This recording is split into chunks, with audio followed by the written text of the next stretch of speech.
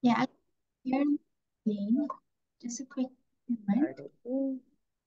It, thanks for joining, everyone. So I'm so excited to be seeing you all today. And we are here with the next session in our deep dive. This is the fifth session in our deep dive series. So today we have our wonderful Michelle uh, to go over the data unification in the data cloud. So we have a couple of other sessions lined up. So these are all published on the user group. You see this Salesforce Marketing Cloud uh, Phoenix user group. This is the user group. So if you have already joined this group, you would automatically get notifications of all the published events. So these are the upcoming series, uh, upcoming sessions in this series. For the deep dive with uh, Michelle, we are having this session today. And next Tuesday, Tim is going to go uh, over the data actions. And then we have um, a couple of uh, few uh, hands-on sessions also lined up. We Last Thursday, we had the first hands-on session with Sandesh. And this Thursday, we have uh, the data ingestion and integration. Again, Sandesh is going to go over that. And similarly, every Thursday, we have these hands-on sessions happening at, at the same time, 8 a.m. Um, and this is on June 6th. And then June 13th, the fifth hands-on session. And there are more also. And as per the deep dive sessions, they're happening every Tuesday. So the next deep dive is on 28th by Tim. And the other one is on June 4th, that is the third Tuesday. This is by uh, Jacob, and then June 11th, the next deep dive is by is by Funny. It's about the implementation best practices, requirements, and planning. Um, so this is the schedule as of now. Every Tuesday we have the deep dive sessions and every Thursday, we have the hands-on sessions. And my special thanks to Tim, Tim and team, uh, Tim, Sandesh, Michelle, uh, for coming up with these hands-on sessions and then uh, planning for these and then collaborating on these ones. So make sure that you have registered to these sessions if you're interested to join these ones. Uh, select the topic and make sure that you register to these ones.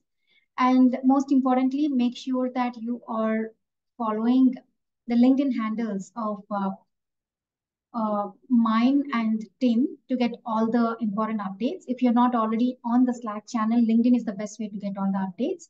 So there may be some updates with respect to this user group.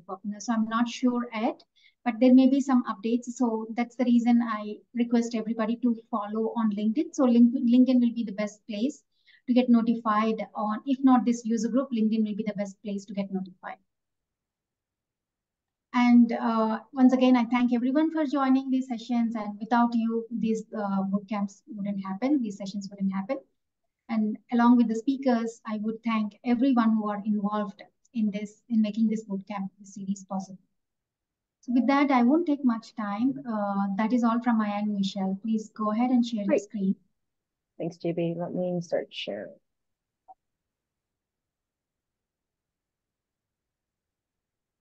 Um,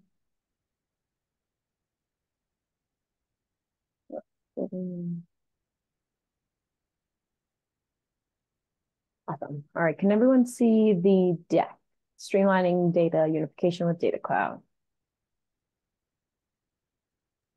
Yes. Thank you. Awesome. All right. So let's get started.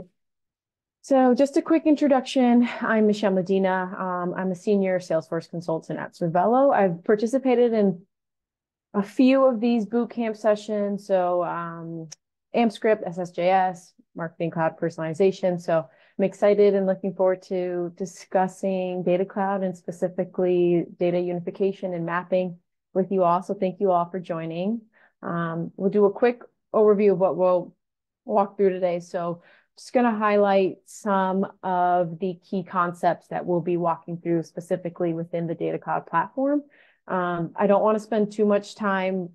I want to spend most of my time within the Data Cloud. Uh, there's was uh, the previous Data Cloud bootcamp sessions cover these topics in great detail. So I do definitely recommend um, going through those YouTube uh, sessions. Um, they're on the YouTube playlist. So again, recommend going that, but we'll go over a quick overview for any refreshers, and then we'll jump right into the use case um, and right into the platform. So we'll do data mapping, the identity resolution configuration. Um, we'll look at those unified profiles, and then we'll uh, start, we'll build those segments. Um, and hopefully we'll have some time for questions. All right, let's get started. So before we jump in, um, just a quick reminder that last week, my colleague Sandesh uh, walked us through the ingestion piece. Um, I do recommend, so this that would be the first step to this process. So I do recommend if you haven't watched already, um, recommend watching that. And then this would be, you know, the second step in terms in terms of data mapping, uh, the data unification and the segmentation piece. Um, so like I said, I won't go into too much detail about these concepts, but I wanted to just give a, highlight those key, key topics here. So for any implementation and for our, our use case, use case that we'll be going through, there are a few data model objects that we need to be familiar with. Um, so these objects are important for the unification, configuring that identity resolution. Um, so you'll see here in the middle that individual object along with some of those uh, attribute objects like the contact point address, contact point phone, email, app, uh, social. Um, so the, the individual object represents a person really. So if you want to collect the person's attributes and use them to unify and recognize multiple profiles and link those profiles together, you'll want to map to this individual uh, data model object. So these normally, these attributes that they're normally represent attributes like uh, first name, last name, you'll need some sort of unique identifier for the individual. Um, so the fields that you see in this diagram are the minimum fields, required fields that have to be mapped in order to use them in identity resolution. So then if we look to, you know, around the individual object here, you'll see other commonly used data model objects like the contact point email. So you, which you'll need, you know, an email address to map to, and again, um, a unique identifier. So if you're looking to use email address to configure identity resolution, again, you'll have to map to that contact point email.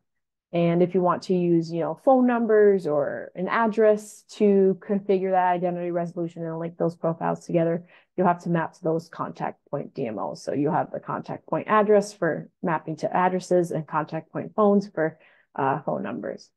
So on the left-hand side of this diagram, you see the party identification object. Um, it's an object that allows us to use external identifiers that that has been used to identify people in, in different systems. So a common example of this is uh, a driver license or uh, a loyalty member ID.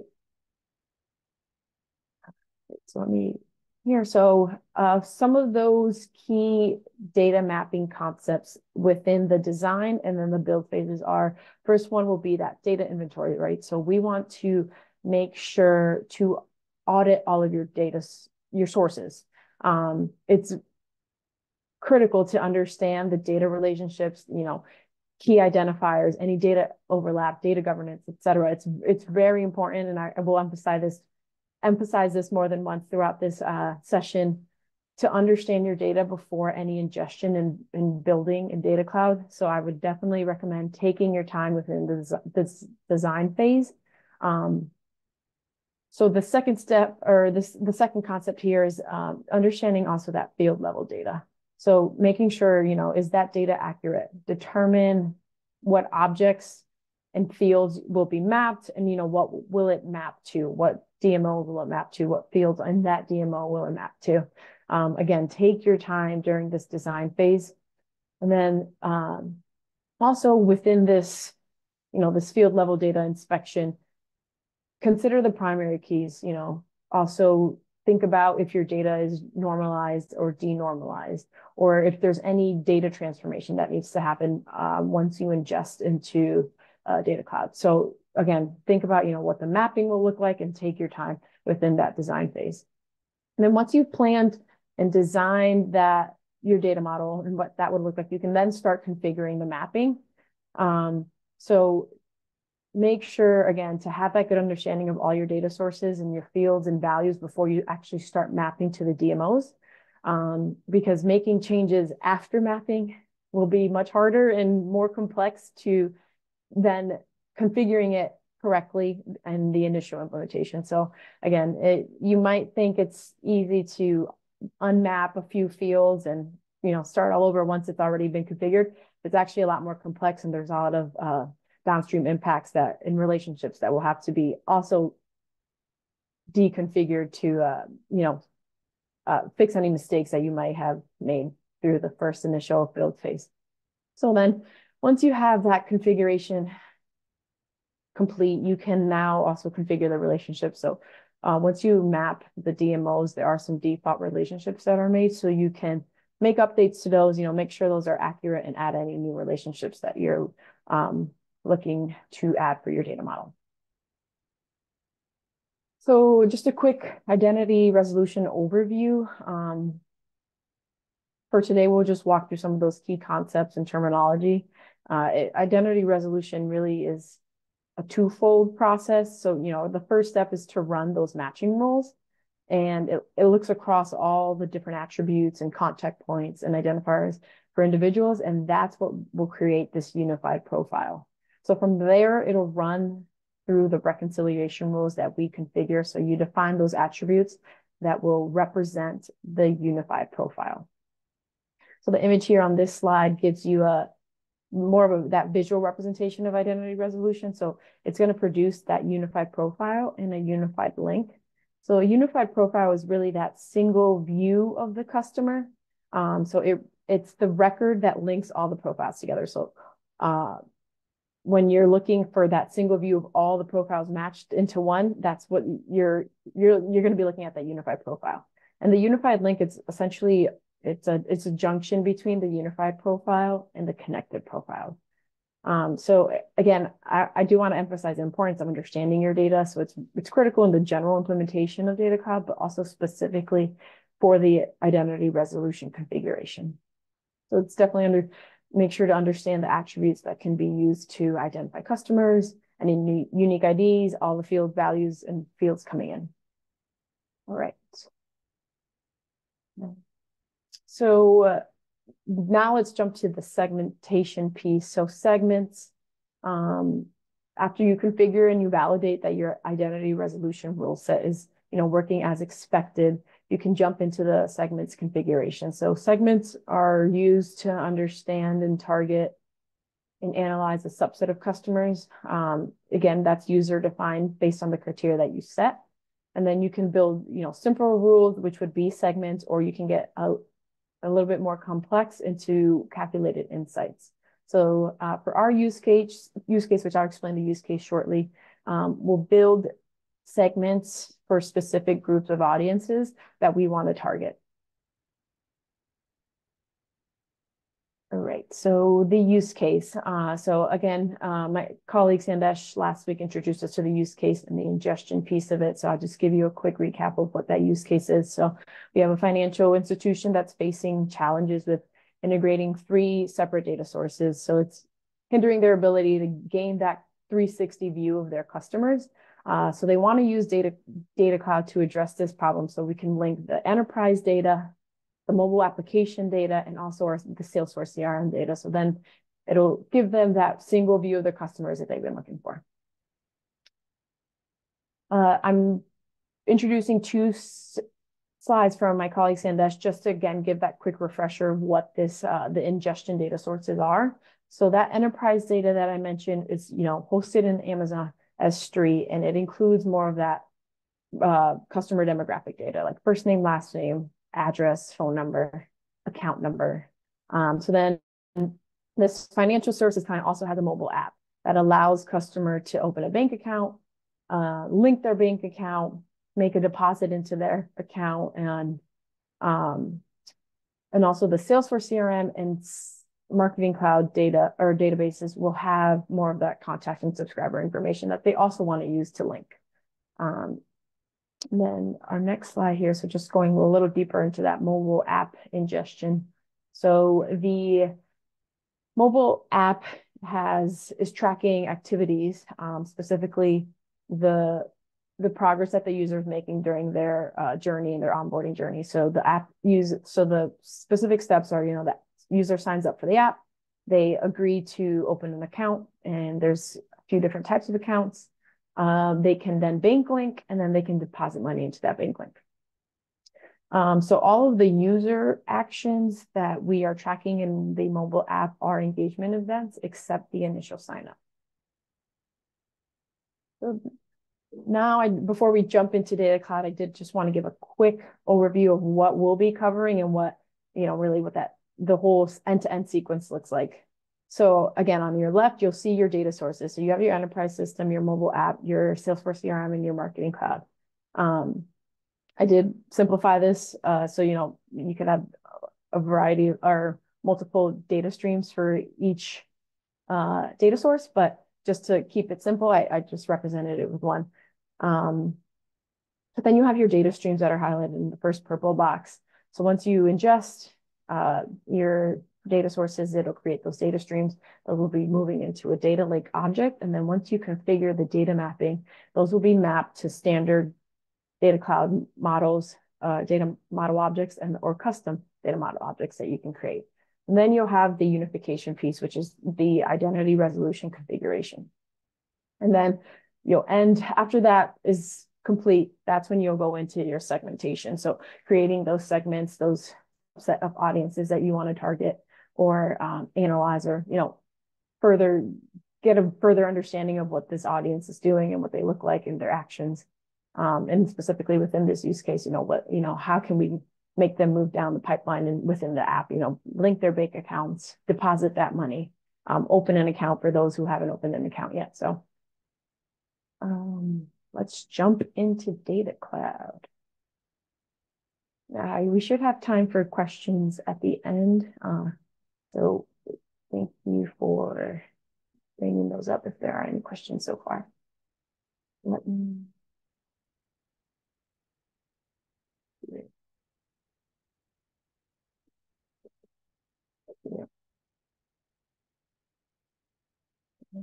the, the Zoom bar is in the way and I get it out.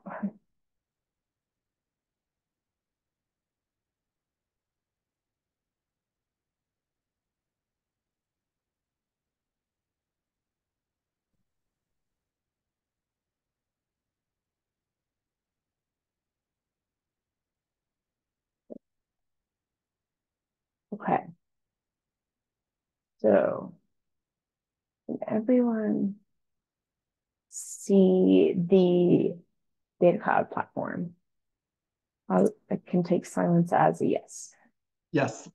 Okay, thank you. Um, all right, so first we'll start with the data streams. Again, um, this is the second part of second, essentially the second step of this process. So Sandesh in last week's session on Tuesday, last week, last Tuesday session, he went through the ingestion piece and how these data streams are initially created. Um, so I won't go into too much detail, but I did want to call these out and also we'll, we'll go into more of the mapping.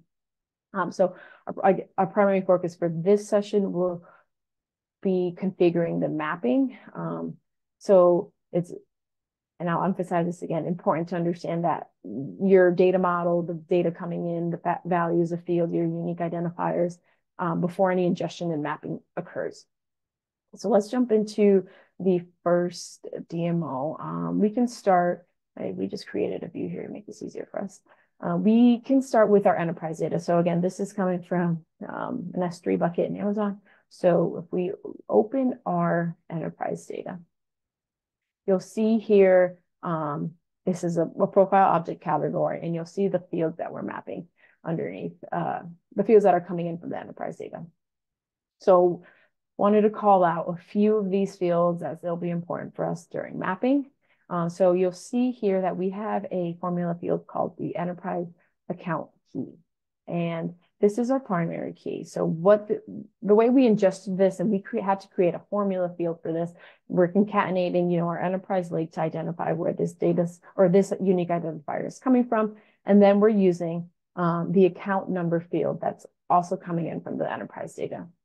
So again, we want to make sure that the primary key should be unique to the user and unique to the source. So um, that's why we had to create this uh, formula field. Um, otherwise, you know, what, what would be our unique identifier would be this account number, but this account number could live in other data sources.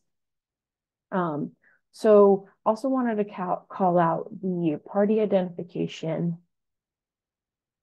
name field here. So this is, or party identification type. So this is also a formula field that we created. Um, and it's really just displaying this text account identifier. So why we we're doing this is we wanted we want to map, and I'll walk through this, the party identification object. Uh, so we needed some of these fields that aren't coming directly from that enterprise data. So we had to transform our, transform our data or create these formula fields to make sure uh, that we're we have all the necessary fields and values to map correctly to the party identification object. So similarly with this identification name field here, um, again, you'll see it's just displaying a text. So we're just identifying the identification type and then also the enterprise account number, which is the our identification name. And again, we'll walk through the mapping shortly. Um, so let's jump into what the field mapping would look like here. So these are mapped, but I'll walk through, you know, each mapping here. Um, we have to map it just for this, this use case or this session. Um, but again, so on our left, you'll see the bootcamp enterprise data. So that's our data source. Then you'll see all of the fields um, from that data source. And on your right is where you'll see all of the smart or data cloud data model objects. So these are your standards, and this is also where you get able to create those custom objects. So, you know, initially you'll have this data stream and, you know, really none of the fields are mapped. Some of those uh, standard fields may be mapped to standard objects, but this is where your design phase really comes into play. So you, you know, you've identified the model, the objects that you want to map to, um, and what fields will be mapping to what field on the data model object. So also to think about this, you you what you know the question that might come up is you know how do you how do I know what I need to map to? So think about how, what you are going to use for the identity resolution configuration. So what attributes from a customer across multiple sources will have that unification or what will we need to make that unification? So you'll see from our enterprise data, we have some of the demographic data like uh, addresses here. So you'll see we have a street field, we have state, zip code, um, city, and country. So we'll, we'll know if we want to use this for identity resolution, which we will, we'll want to map to the contact point address object. So um, just if people aren't aware, you can, in this but, uh, pencil icon here, this is where your objects live. So you can search for each object that you'd like to add and map to. But if I were to just search contact, you know, you'll see and you can click check and it'll bring those um, data model objects into your, your mapping view here. So what we've done here is, you know, we've identified some fields that we need to map. So if you can look at on the left-hand side, you'll see street is mapped to address line one. And city is mapped to city. Our contact point address ID is mapped to the, which is the primary key, is mapped to our primary key, which is that enterprise account key formula field that we created. Um, countries mapped to country, and uh, postal codes mapped to postal code, and state province is mapped to state. I find, so Salesforce has great documentation on each of these data model objects, which outlines the object and also all of the fields, which I think is extremely helpful, um, especially if you're not familiar with the object. It'll give you an explanation of what that field is, and it'll give you a better understanding of what fields you should be mapping to. Um, so you'll see we've mapped, you know, it's, it's straightforward in terms of an address. You'll see this party field, and if you remember from that diagram, you'll see that every of those attribute objects have that party field. So a party field is really, again, it represents the individual. So in our case, what's the ID that's representing the individual again is still that enterprise account key field that we we have, um, which again is a formula field that is from you know concat concatenating the enterprise lake text with the the account number. Um, so again, this field is important to map from each of these objects again, because it's representing, it's going back to that individual. Um, so we have the address field maps or the fields are maps. So now we can look, you know, what else, what type of other data do we have and what else are we going to be using for the identity resolution configuration? So we have email. Um, so again, there's a contact point email object. Um, and we'll be able to map those fields similarly as we did for the point address. So you'll see here, um, our primary key for the contact point email is mapped to our primary key, the enterprise account key, and similarly, similarly, email address is mapped to email address, and party is mapped to uh, the enterprise account key. So um, just for reference here, if you needed to map any more fields that you, you may be having that are coming in from your data sources, you you can do that as well. Um, so then again, similarly, I won't walk through all of these, uh, the contact point object as they are similar. So you'll see here, we're mapping again, the same uh, fields accordingly to the uh, objects and party is still mapped to uh, the enterprise account key. And then if we jump to the individual object on our right here, this is right the, the, the object that represents that individual. You can see actually here that this is a custom field that we created. So in our uh, enterprise data, you'll see we have an account created field. Standard object in the the standard individual uh, data model object does not have that field or, you know, you run into those use cases where you have these unique fields that, or these custom fields that, you know, isn't in part of the standard. So you are able to create those custom fields. Um, so if you were to click on this unmap button, this drop down here, you'd be able to add a new field. Um, so then you can name it, choose your data type, um, and you can enable this value suggestion if, if needed, if necessary. And then you'd have these custom fields. So again, so once we created that custom field, we're able to map our account, the enterprise account created date field to the, our new custom account created date field. And similarly with account number, we mapped the account number that's coming from the enterprise data to the account number. Um, we map their first name, last name, and again, that individual ID is that primary key, and we're mapping it to our primary key. Uh, all right, so again, you still have that option to uh, map any other fields that you'd wanted to pull in uh, as well.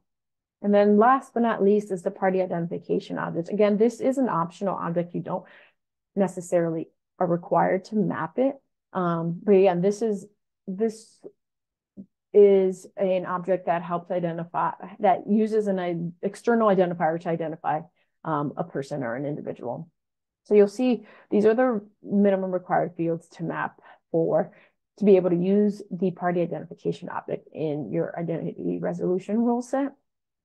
So we just look here quickly, we have the identification name standard, you know, the standard field in the party identification object. If you remember, before we jump into the mapping, we created two of those formula fields, um, right? Because we didn't have that data initially coming in from our enterprise data uh, source. So you'll see here that we're mapping our new, our custom formula field to the identification uh, name standard field. Um, similarly, party is mapped to the prime, to our primary key again, because that's representing the individual. Um, our part, the party identification ID, which is the party identification primary key, is mapped again to our primary key. It's it representing the individual. It's also the primary unique identifier for this object. And then similarly, the party identification type, we are mapping our custom, our that formula field that we created to uh, this standard party identification type field. And last but not least, the party, again, it's representing that individual. So be able to match all of these profiles together, we have to make sure that, you know, the primary keys are correctly mapped and also these party fields are co correctly mapped in each object. As again, if the IDs aren't going to match, they Data Cloud won't be able to unify those profiles, right? Because the IDs are different. Um, so this is where you'll see uh, that party field represents that individual. So it's mapped to our, our, our enterprise account you, based on your data sources, you're definitely able to map more of those uh, objects. For this use case, really, we're looking at the address, the email, our phone, you know, obviously, you know, really the individual, and also our party identification object. So once you've mapped all of those fields, you can save and close. And we'll walk through another um, data stream. So we did the enterprise data. We'll walk through a couple of the mobile app data streams coming in. And then we'll do a the contact object just to see what a Salesforce CRM mapping would be. But again, they are similar in terms of, you know, how you map the fields. You just have to really consider, you know, what objects you're mapping to, the fields, any unique IDs or primary keys as well. So we go back to the data streams tab here, let's jump into what um, one of the mobile app uh, data streams would look like and what that mapping would look like. So let's start with the, the user sign up. Um, so again, all of the uh, events that are coming from the mobile app are engagement events, except this user sign up. So this is the another profile object category. Um, so I wanted to just cure fields. So I wanted to just call out a few of those fields. So you'll see we have some of that demographic data as well. We have email, first name, you know, our phone, state, or we have our address. Um, we have a user ID specifically tied to that user in the app. Um, we also have more of the overview, high level banking details. So we have if they've agreed to open an account, if they've bank linked, if they've deposited cash, um, the date that this, you know, the it, the record was created, but in our sense, we're using this as, you know, the date that they opened, uh, they signed up. Um, and also account type. So as I mentioned, there's different account types. So we they have the ability to open a brokerage account, a crypto account, a high yield savings account. Uh, so we, we want to be able to track that. So we have these fields coming in. And again, to highlight, so we have a what our primary key is what we labeled here com our composite key. So if we were to edit this formula, it's similar formula of, of the enterprise primary key. So, right, we're concatenating, right, what we, where this data come from. So, you know, you can really, you know, make this text, whatever uh, is, see, fits your data model and your, but for this use case, we're, you know, saying this is a mobile app, and then we have that a user ID. So again, that's that uh, ID for that user in the app. So we're uh, concatenating those together as our primary key. And then we also have those same fields, again, knowing that we want to map to the party identification object. We don't have those fields necessarily. We have the party identification type and also the identification name uh, right here. So now we can walk through what the mapping would look like. And again, I mentioned it is very similar to um, what the enterprise data uh, would be mapped to, but just wanted to quickly go through it. Um, so again, you'll see your data stream on your left and then your data model objects on your right. Um, so you'll see all of our fields here, our account type, our balance, um, primary keys, all that information that we just went through. So again, we are mapping um, our address attributes to the contact point address. You'll see again, our party is mapped to that composite key. The primary key is mapped to our primary key as well.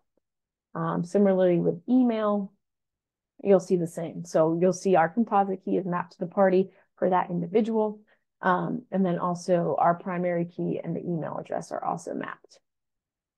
And the phone as well. So you'll see party mapped to that, and that compo the composite key, similarly with our primary key, and then also um, our phone, excuse me, the phone is mapped to our phone number, the phone, phone number field here.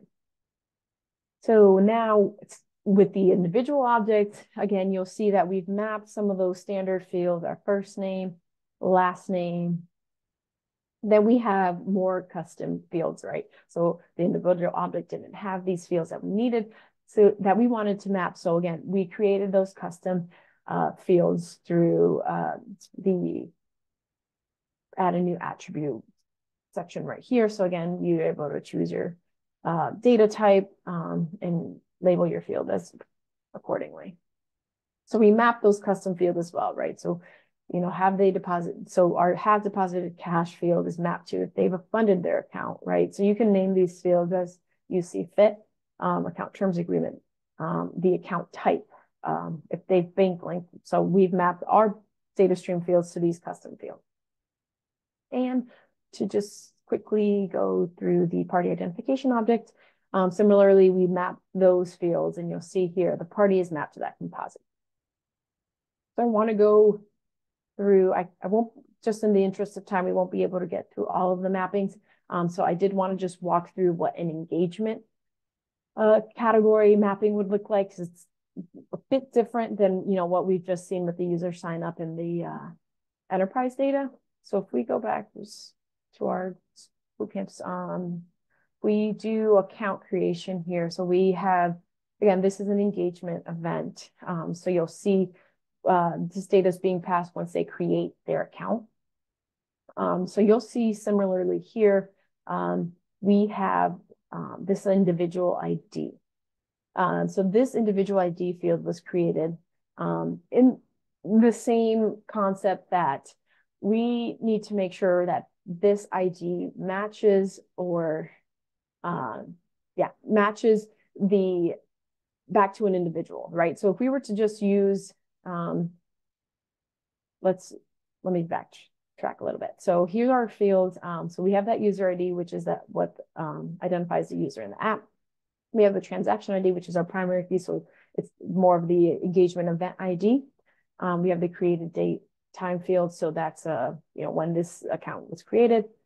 Um, so then just uh, keep this individual ID field in mind. So once we go into the mapping here,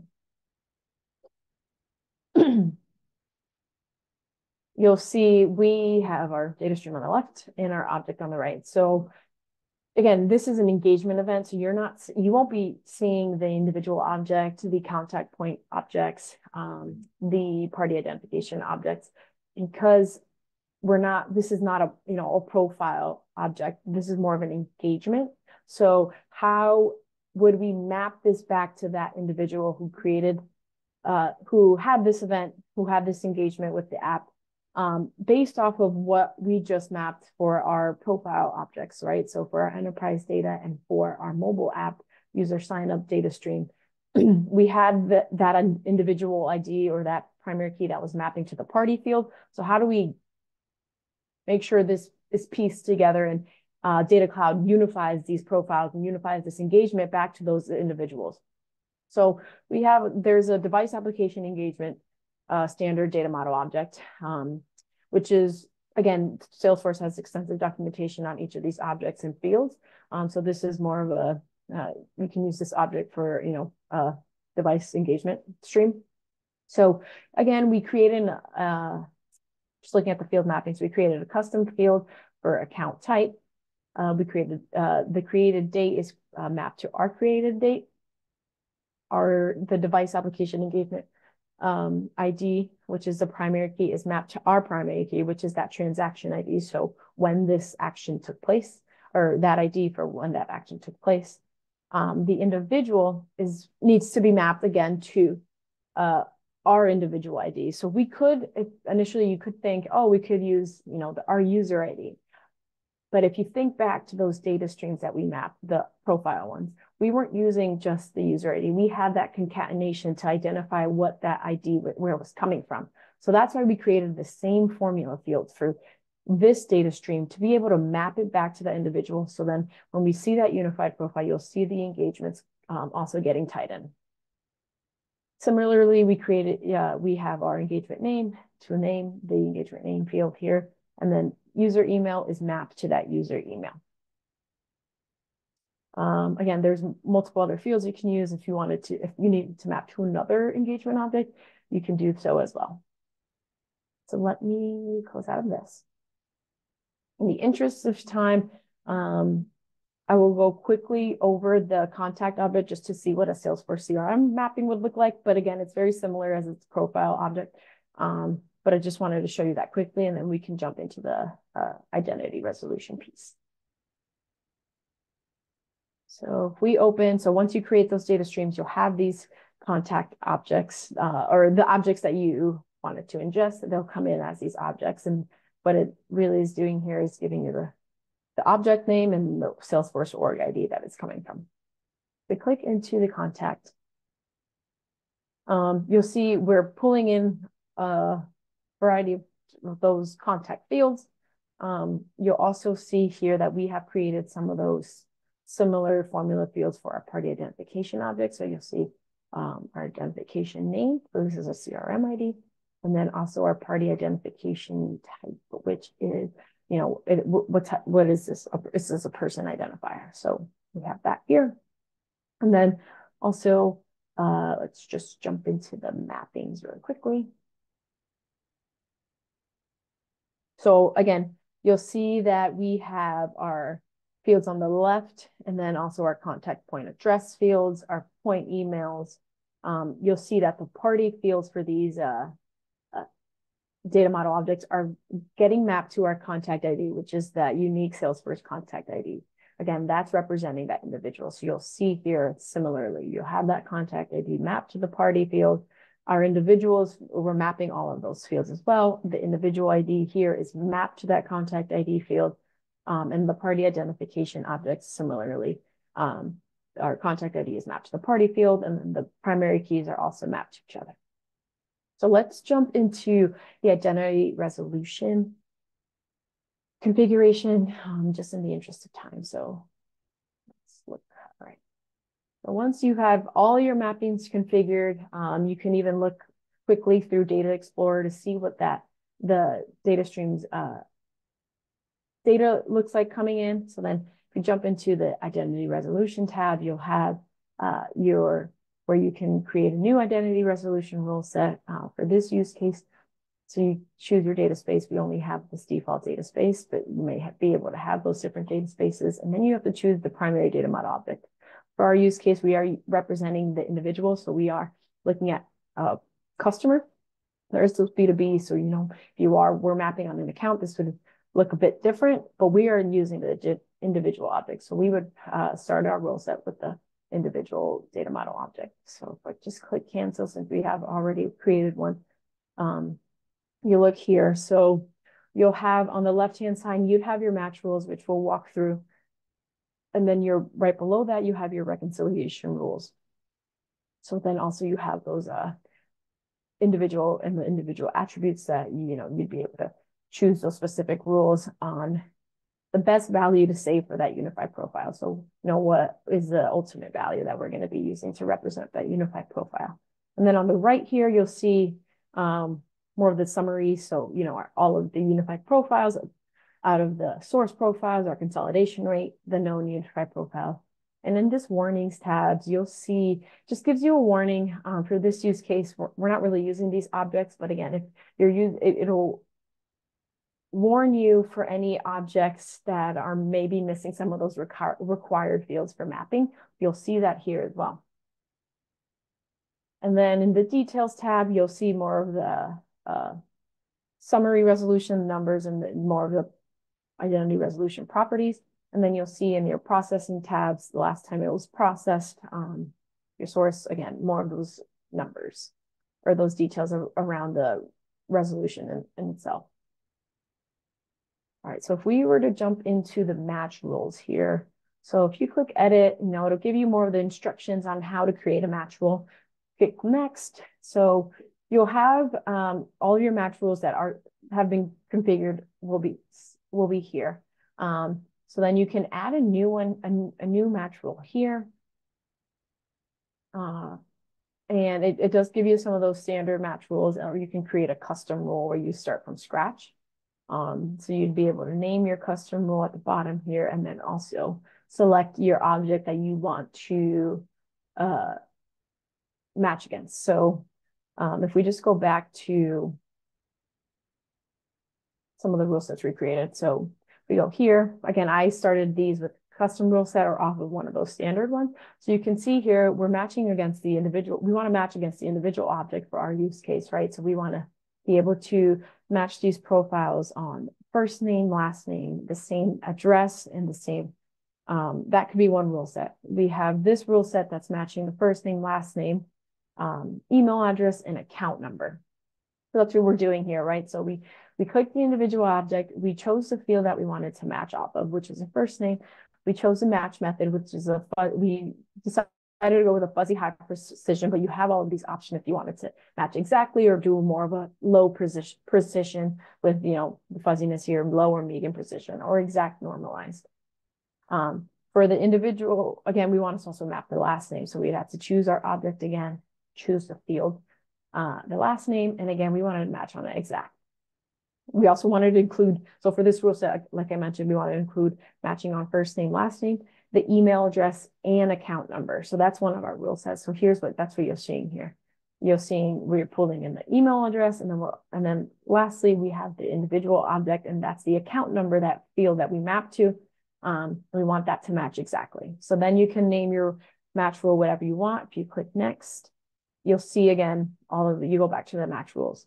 If we wanted to just show another match rule here. So the second match rule is we wanted to match to match profiles that are your first name, last name, have an exact address, and also the exact account number. Um, so this is what you're going to see here. And again, it's similar. So you'd have to choose for every attribute and, or field that you want to match against. You choose the object that it's coming from, the first name, and then your match method. Similarly, with the contact point address field, we want to match on the address, the street address, exact normalized, um, the city as well.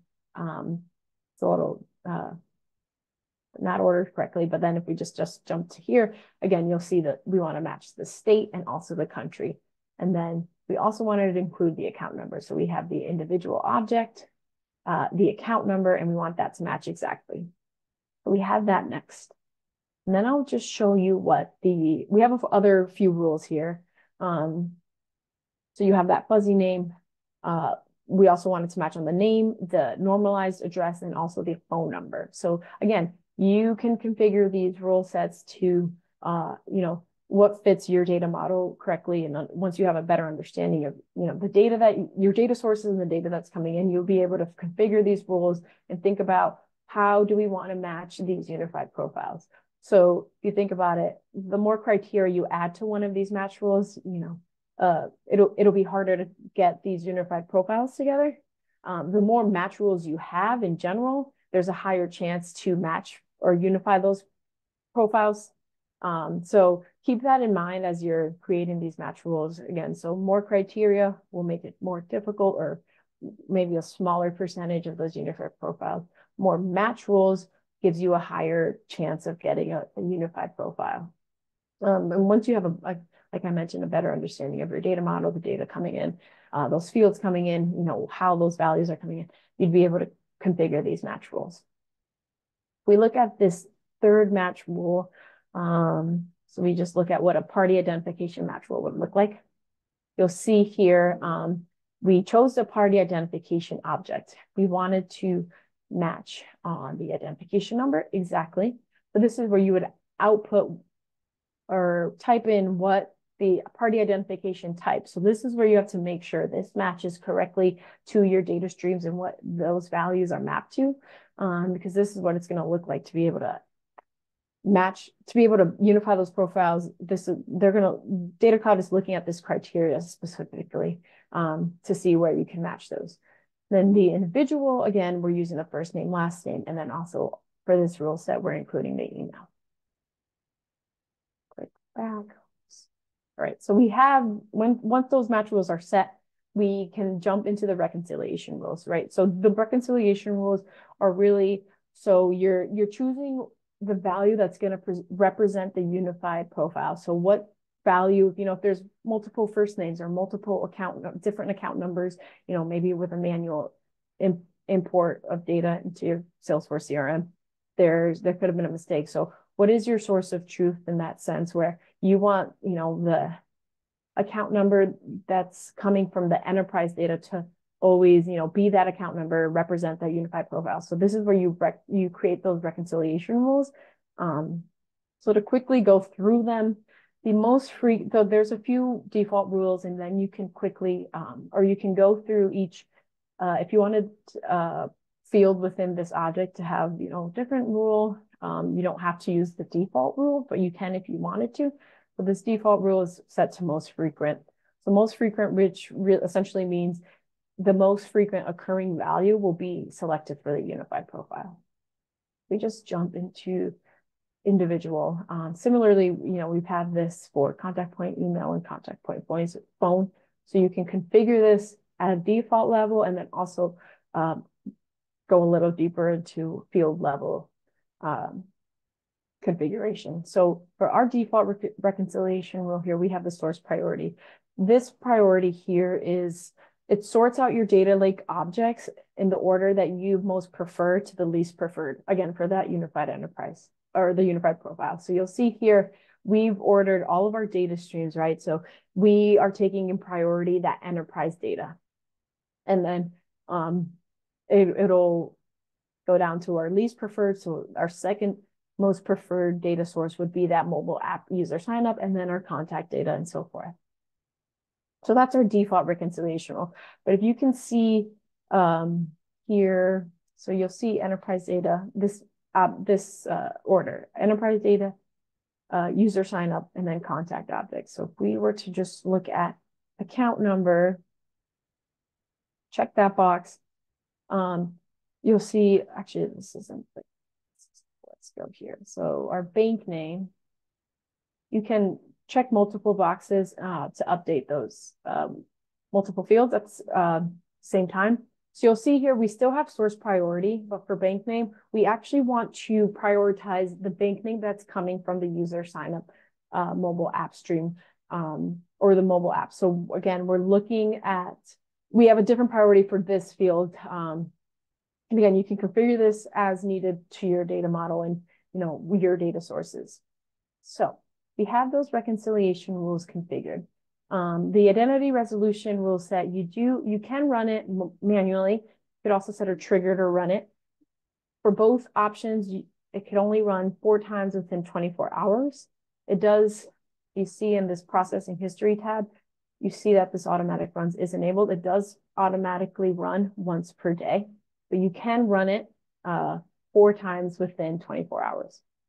So now that we have created this, our identity resolution rule set, I just want to quickly show you what a profile would look like. So in Profile Explorer, you can choose your data space, you can choose the object, and you can choose the attribute that you want to search against. So I am going to do email. I have a bunch of test records for my email. So I know, I think a lot will come up, but I will show you the one that uh, I've created specifically for this use case. We look for our email here. Um, like I said, I have a bunch of test records, so there's a bunch I created, but this first one is what the one we're looking for that, you know, I have a test record in the enterprise data. I also have a CRM record, and I also have a mobile app record. So here's your unified profile.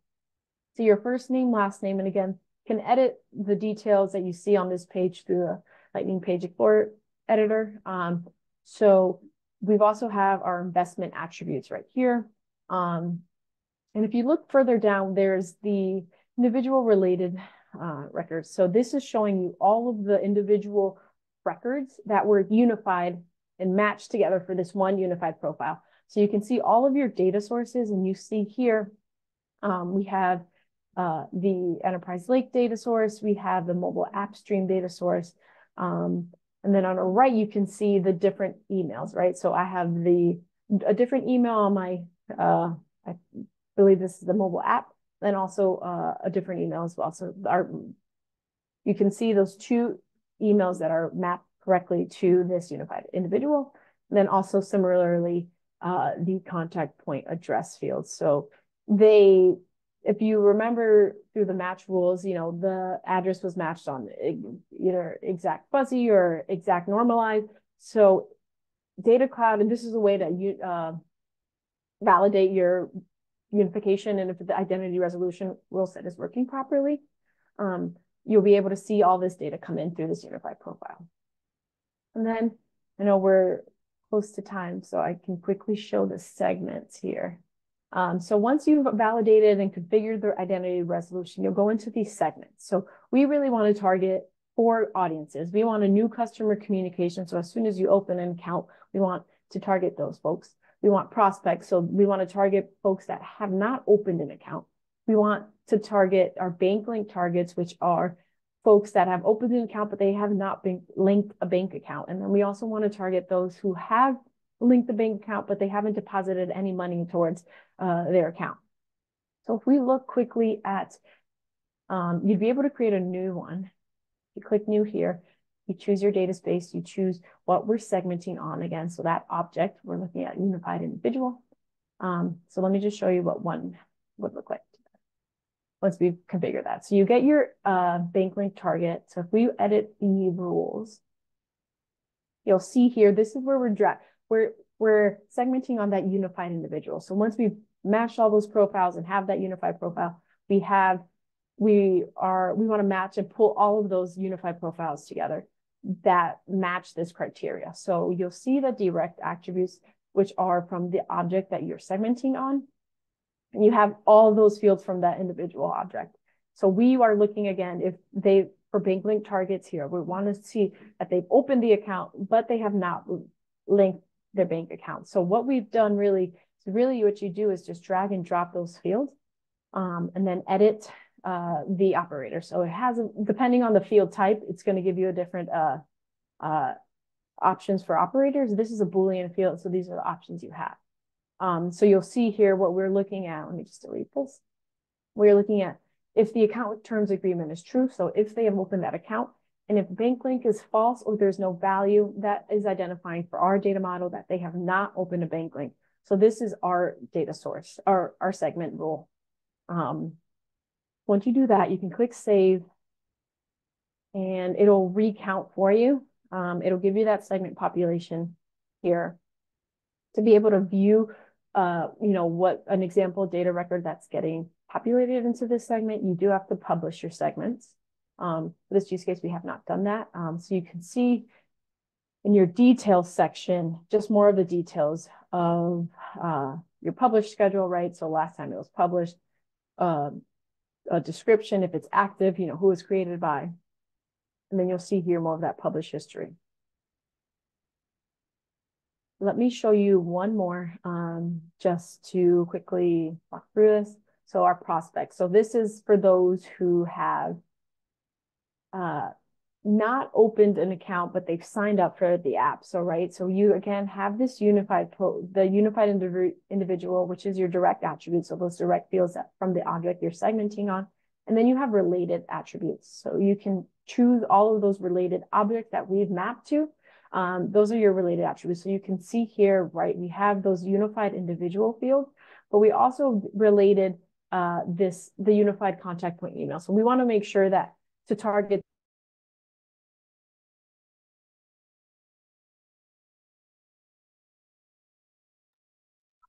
This is more of a drag and drop functionality you can change to and or logic. Um, so it's really uh, a simple way to target and segment those audiences. I know we're at time. Um, happy to answer any quick questions or I can, you know, connect through LinkedIn if you have any questions. I do appreciate, uh, I know this was a lot, so I appreciate your time and thank you for joining. Um, I have a few minutes if we need to answer any questions. Yes, Michelle, uh, there are a couple of questions, uh, but firstly, thank you for the session and all the insights.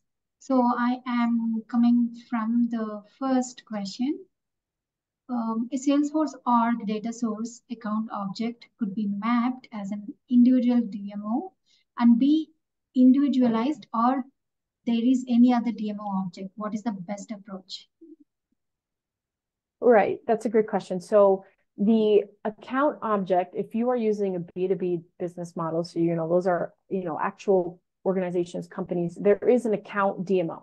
Mm-hmm. Um, if you're using person accounts, that's where you can consider, you know, mapping to that individual object. There's also an account contact DMO that you can map to. So you just really have to uh, distinguish if you have the B2B account to accounts or if, if your account object, which you know could be a person account, is an actual individual, an actual person. And the next question is the how party identification can help in unification. Yeah, so good Milton question. Has, so party. Yeah, okay. I see Milton has already answered that. Um, so okay. I'll move on to the next one. And there is one question related to the connected profile. Um, so that is already being discussed in the previous sessions. Michelle, if you want to just go over, uh, give a high level overview of that, overview of that, please feel free to add some information on that. Okay. What yeah, so the connected profile is, yeah, so the connected profile, um, it's what's linking those, all those individual records together. So it's doing that connection and having that one profile for that connected profile. Um, yeah, I, do recommend, there's a lot of Salesforce documentation on there and it's been, uh, the other data cloud sessions do go deep into those details. Um, I know all these terminologies could be a bit confusing at times, but really that connected profile is what's linking all of those individual records. So you can have a, you know, five different Michelles and getting those connected together. And the next one, please confirm individual is person account or custom object. Person account. So for person accounts, you can map to the individual object. Again, you do have to take in consideration your data model specifically. So, you know, this could be, you know, more complex or vary depending on your data model and how you're using, you know, what your data is coming in. But a person account represents an individual. So you can map it to that individual DMO. Thank you. And how to map person account? Which DMOs should be mapped in case of person account? Yeah, person account. Uh, so you could map that to the, again, it does vary depending on your data model, but you know, generally you can map to that individual DMO. You can use the contact point uh, DMO, so the contact point email, the contact point address. Um, there's also, again, there's also an account contact object. Um, so it, it, does really depend on your data model and your specific use cases, but a person account, like I said, does represent an individual. So you can, and I would recommend mapping it to the individual DMO at least, and also those contact point attribute uh, objects. Awesome. I think those are all the questions. Uh, so anyone, if you have any other questions, please post them on the Slack channel. So Thanks for the wonderful session and thanks everyone for joining this session. We will be sharing the recording on the slide deck shortly. And for the slide deck, I will, I, oh, just one more point to add, Michelle. So the slide deck link will be added to the description of the video. So once you see the video, the slide deck also will be added in there. Thank you, everyone. Thank you, everyone. Bye.